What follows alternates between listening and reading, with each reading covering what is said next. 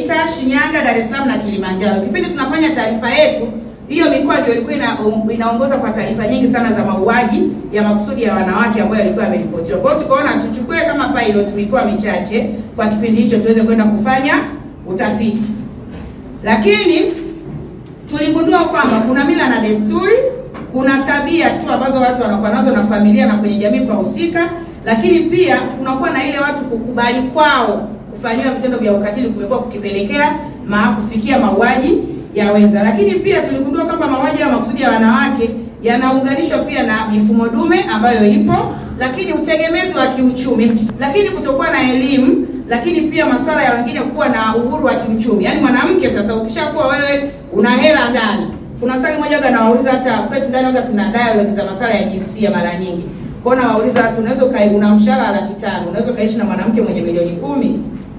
Wanaume wengi wanasema hamna shida kabisa, tunaishi. Lakini kitu ambacho tunajua, ukikaa nao ndani unakwambia asipoleta kiburi tutaishi.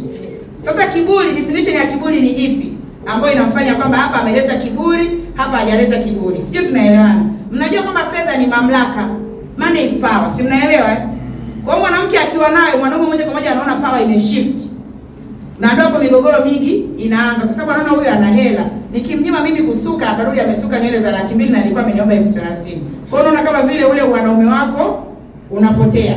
Lakini kumekuwa na mila na desturi ambazo bado zimeendelea kuleta changamoto na kupelekea vitendo vya ukatili kuendelea. Tumegundua kwamba kufanya kufuatilia kesi au mauaji ya makusudi ya wanawake imekuwa ni kitu ambacho kimekuwa ni kigumu sana hasa kwa watu wetu wa jeshi la polisi, na imekuwa ikirudisha nyuma juhudi za kupambana na vitendo vya ukatili na vitendo vya mauaji ya wenza na mauaji ya makusudi ya wanawake kama ambavyo ipo.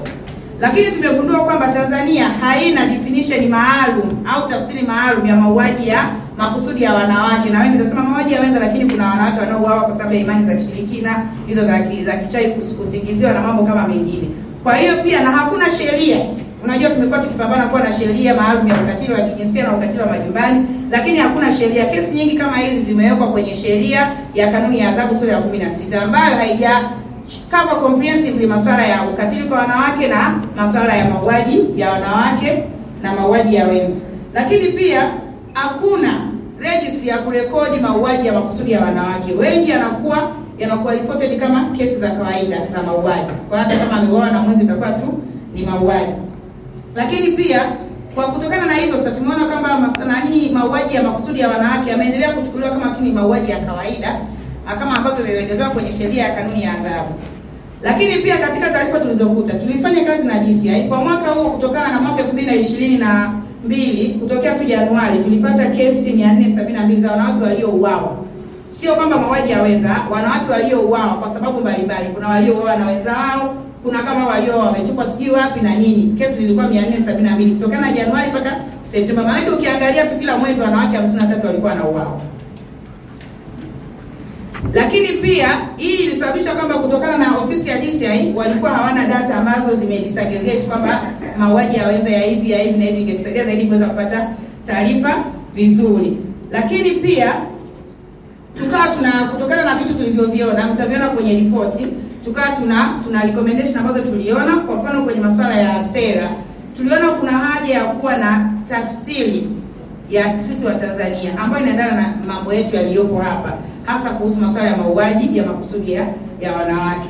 Lakini pia wizara ya afya iweze kuangalia kuweka nani, wizara ya mambo ya ndani iweze kuweka registry ya mauaji ya makusudi ya wanawake pamoja na mauaji mengine yaweza na aina zote zile, tuweze kujua hali yetu iko wapi lakini pia kuwa na sheria maalum ya ukatili wa kijinsia au sheria ya ukatili wa majumbani, lakini pia kuangalia na utekelezaji na kustrengthen program nyingi zinazo nani walinda wanawake na, na, na wasichana dhidi ya vitendo vya ukatili.